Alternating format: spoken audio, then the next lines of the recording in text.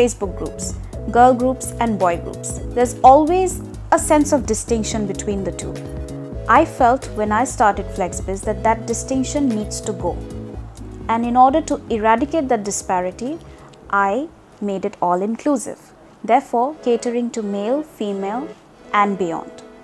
So, having said that, FlexBiz started off with the notion of bringing people together doctors, lawyers, teachers, entrepreneurs, philanthropists, and so much more.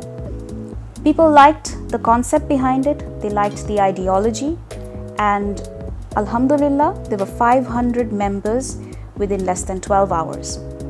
That response made me believe that I may have created something fruitful and I need to work on it.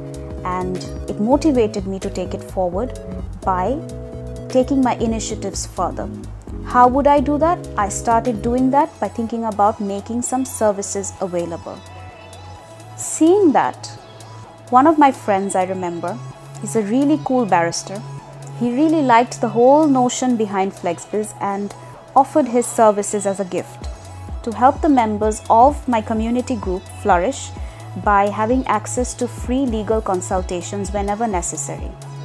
He felt that the empathetic approach that I took while creating FlexBiz was something that inspired him to also be empathetic in his conduct and approach to contributing to society. Seeing him, four or five more people followed, and the legal team now, by God's grace, is very strong. From that to now, we have services, communal services, which are still exclusive to the group members.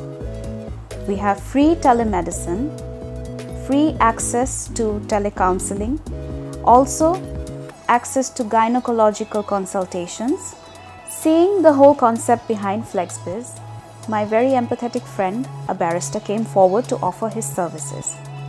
Seeing him, a few more people, few more lawyers, I would say, followed, and together all of them have contributed to 500 free consultations for FlexBiz members so far. Though that's a rough figure, there are plenty more. I will just mention 500 for now. In order to make communal services more accessible, I felt now in addition to legal aid, telemedicine should be brought to the forefront.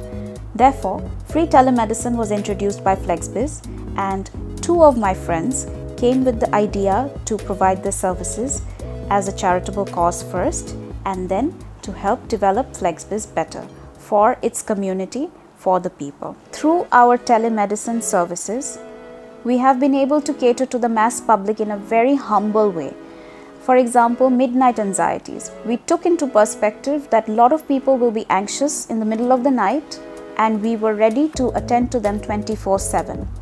After positive response, we decided that we will open the doors to other forms of queries as well, including catering to nutritional guidance, mental health, and the reproductive health as well. To cater to the healthcare needs, we have doctors, we have gynecologists, nutritionists, psychiatrists, and PCOS coaches. Thank you so much, Real Chamak, for this thoughtful interview. Please like, share, and subscribe to the channel.